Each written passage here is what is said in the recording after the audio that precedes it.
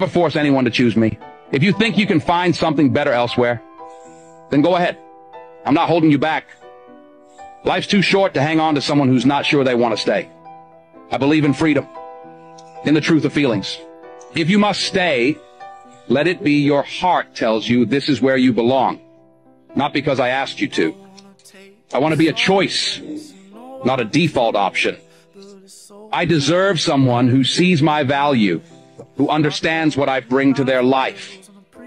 I don't want someone who stays with me out of fear of loneliness or out of habit. I want someone who stays for who I am, not who you want me to be. The door is always open. You're free to leave at any time. So if you think your happiness lies elsewhere, I won't stand in your way. And in the meantime, I'll continue to build my own life, to be happy on my own, because my happiness doesn't depend on your presence, but on my own ability to blossom.